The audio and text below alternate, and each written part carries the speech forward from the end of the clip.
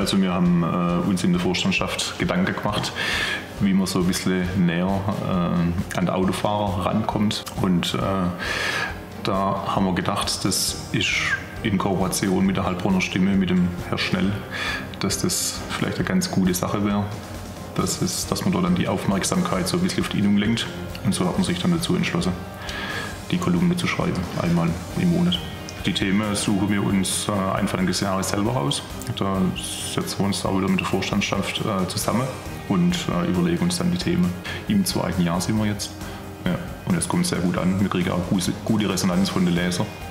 Wir haben öfters dann auch Fragen, wo man dann auch gerne beantwortet. Ja, das funktioniert eigentlich sehr gut. Ja.